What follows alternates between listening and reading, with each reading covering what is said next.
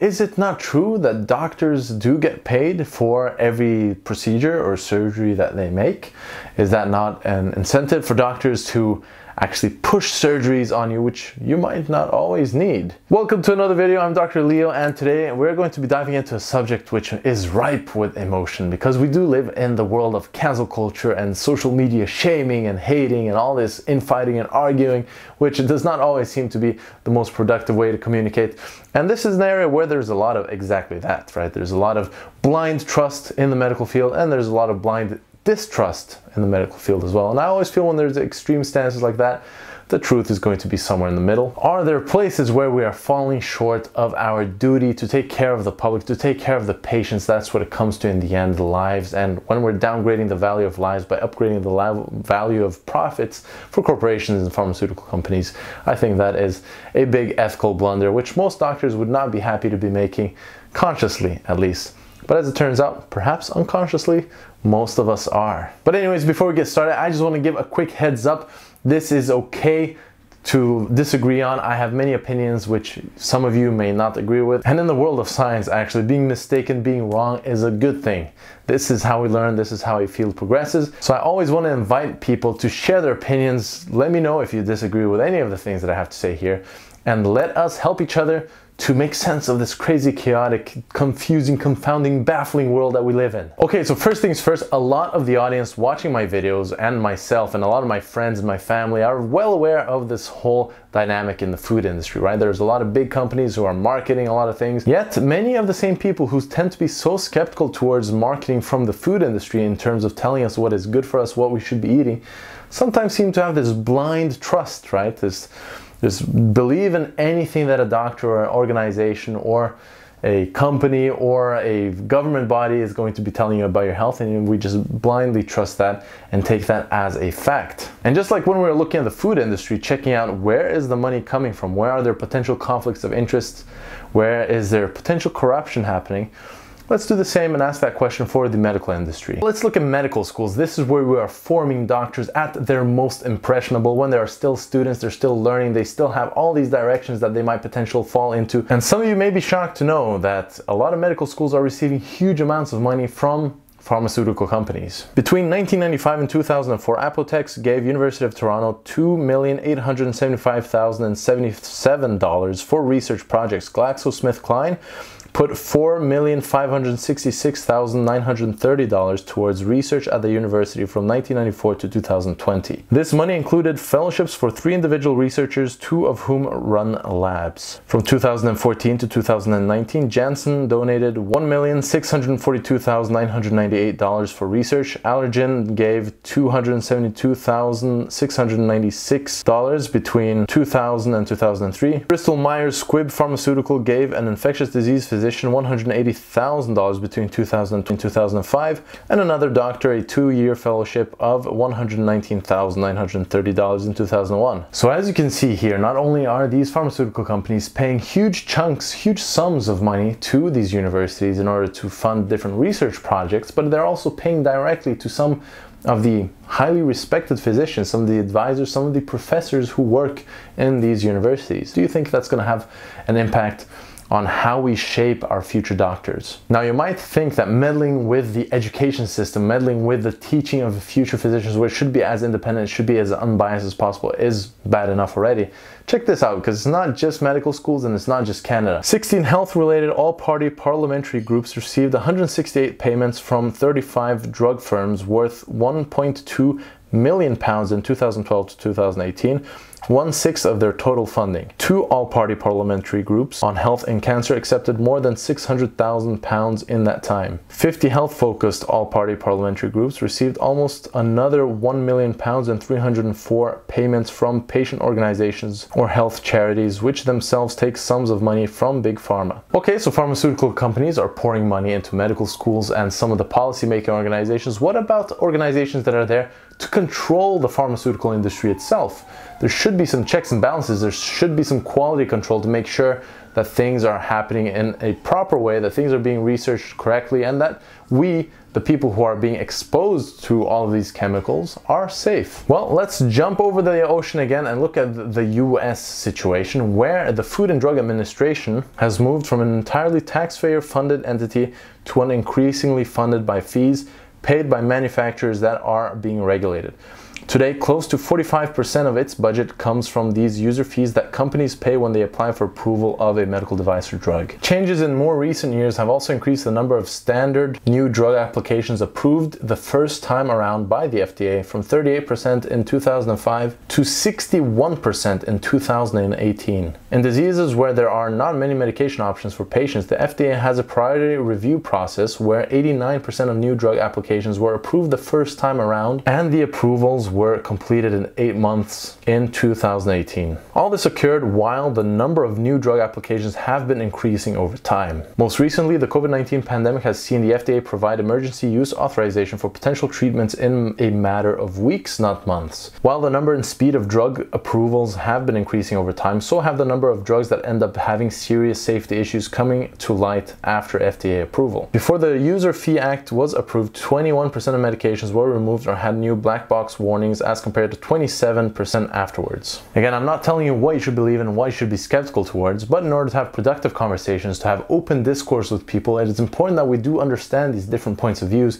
and see that there is actually good reasons for people believing in the different things that they do believe in. If we have the very organizations that are there to control the pharmaceutical industry, making money off of that industry itself, and we're seeing these trends from the moment we allowed this money to come from the companies, from the industry, we're seeing more drugs being approved more quickly, and then more drugs having serious adverse events, and more drugs having to be taken out of the market, it's only natural that people aren't so geared up. They're not so happy. They're not so excited or elated to just jump on anything new, to try new technology, to try new medications, to try new vaccines. It makes sense that people are skeptical. But it's not just application fees to get drugs approved. What about the actual people who work in the FDA? What about the committees that are there to make sure that everything is done properly and actually are making the decisions of what goes through and what doesn't. Of the more than 24 million in personal payments or research support from industry to the top 16 earning advisors who received more than $300,000 each, 93% came from the makers of drugs those advisors previously reviewed or from competitors. Most of these top earners and many others received other funds from those same companies concurrent with or in the year before their advisory service. Those payments were disclosed in scholarly journals but not by the FDA. Here's here a little visual representation of how much money some of these advisors in the committees are getting straight from the pharmaceutical industry. There are 20 that are making between 100,000 and a million dollars and 6 that are making over 1 million. Hmm, I need to approve or disapprove of this drug. Well, it doesn't have as many tests, it doesn't have a huge amount of studies, so I guess we don't know. Maybe it's dangerous, but we can always pull it back out of the market. And uh, I am getting paid millions of dollars to uh, sit here and um, you know I'll just go, let's, let's just give it an approval. Let's just see how this goes. Now to go full circle what about the doctors? Now I'm not here to criticize doctors. Some of my best friends are doctors. I'm a doctor. I've lived with studied with worked with just spent a lot of time with doctors. I know there's amazing doctors. There's so many good human beings who are genuinely in the field to help people to save lives to be a good person. But is the system set in place? Is it conducive to doctors being their best and doing what is best for the people, for the patients. While changing employment trends have shifted more surgeons towards hospital salaried positions in recent years, the compensation of most surgeons remains tightly associated with the number and types of procedures they provide. So that is it. Now we have it come full circle. We have the medical schools where a lot of companies are having big influence and where the future doctors are at their most impressionable. A lot of their mindsets, a lot of their beliefs, a lot of what they're comfortable doing in their work life is going to be determined around these years. You also have some of the policymaking organizations getting big amounts of money from these pharmaceutical industries, even the control, the quality insurance, right? The, the quality control that's supposed to be there to make sure everything goes the way it's supposed to go, such as the FDA, not only directly getting paid by these companies, but some of the top advisors, some of the most respected people within these organizations are getting sums of over a million dollars each. And last but not least, the doctors themselves are often being paid directly for the amount of procedures, the, the volume of surgeries that they are doing. So again, is this a system that is conducive to allowing the doctors to do the best for patients? Now, I'm not accusing doctors of putting people unnecessarily through things just to make as much money as possible, but you have to think about it. Is a system that gets a doctor paid more for more medications they prescribe or more surgeries that they perform, is that going to motivate and stimulate doctors to do what is best for the patients at all costs? Or is that going to stimulate and perhaps push the line towards, oh, let's just do it, you know? We're getting paid a lot of money. It probably is going to help them. I don't know if it's going to help, but it might. And we're getting you know, paid a lot of money. Like, do you think that's going to have any impact on how medicine is practiced. And to finish off this video, let me share you two times the medical industry has failed my family. My father, he was having some trouble with his knees. He was starting to hearing some clicking. He wasn't being able to run as much as he used to without the pain. Went to an orthopedic surgeon. They straight away recommended, let's remove part of your meniscus. Let's fix you up. You're gonna be much better. No problem. Luckily, he listened to his uh, wise son who had enough experience in the industry to see that most surgeries, especially around joints, never make the joint as good as new. It's not never like you your artificial joint is going to recover the functionality of a natural biological joint. Instead, you might recover 60, 70% functionality, nowhere near the same as what you would have naturally. So instead, he focused on weight training, he focused on strengthening the muscles, the tendons around the joint to take some of that load off of the joint itself and now he enjoys life as normal. He runs without pain. He does a lot of workouts. He goes skiing, no problem. And again, had he blindly listened to the doctor, it would have been a much worse condition. Second example, myself, when I was a teenager, I was diagnosed with something called ITP, which, well, back in the days stood for idiopathic thrombocytopenia purpura because we didn't know what caused. Now it's called still ITP, but now it stands for immune thrombocytopenia purpura, which is basically an autoimmune condition where your immune cells start attacking your own body, in this case, the blood platelets, which are an important part of the coagulation system. So it's an important part of what stops the bleeding.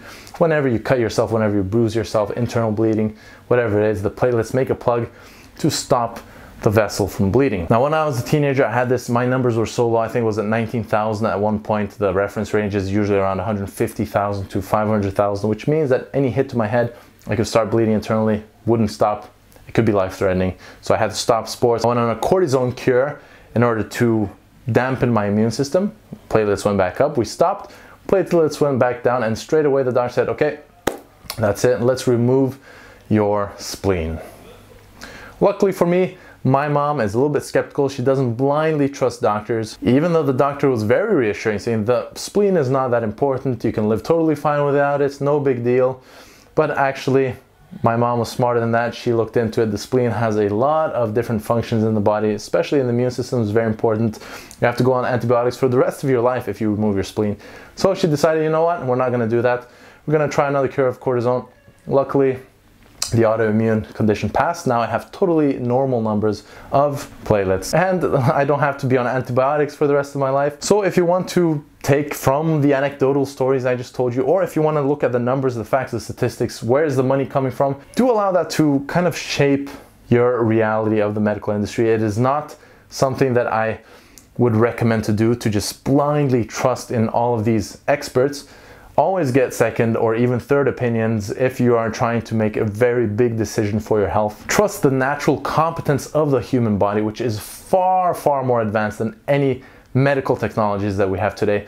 Prevention is better than cure get your health on point, and most of all, be empathetic, be compassionate towards other human beings, whether it's vaccines that you disagree on, whether it's surgeries or medications, whether chiropractic doctors or medical doctors or naturopaths or homeopaths or acupuncturists or whatever it is. Allow people to believe whatever they want to believe.